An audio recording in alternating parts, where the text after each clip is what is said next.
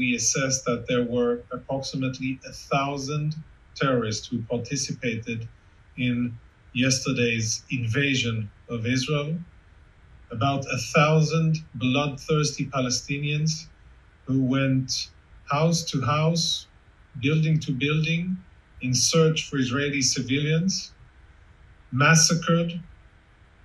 Approximately 700 Israelis have been killed, and that's civilians and military included, and uh, more than 2,100 have been wounded.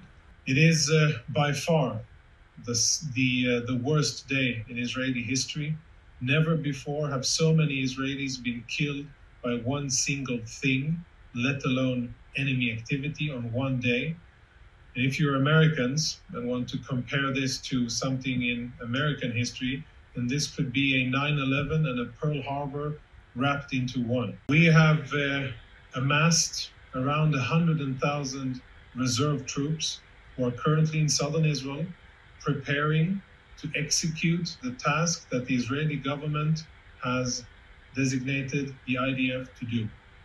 Our job is to make sure that at the end of this war, Hamas will no longer have any military capabilities to threaten Israeli civilians with.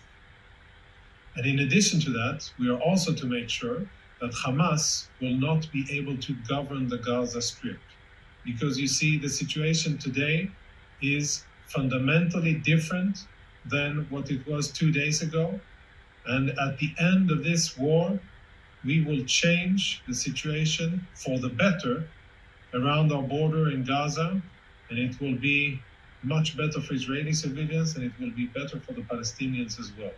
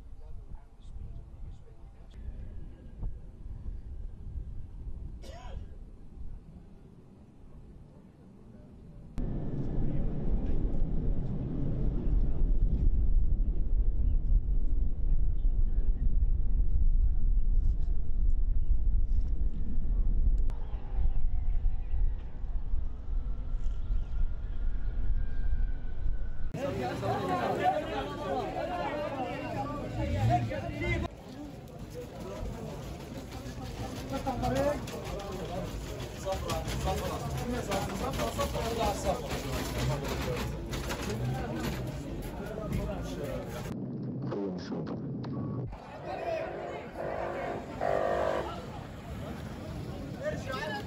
Sorun var iskutilla. لنا؟ بكشف وروح هناك يلا. يلا. يا يلا. يا معلم يلا. يلا. يلا.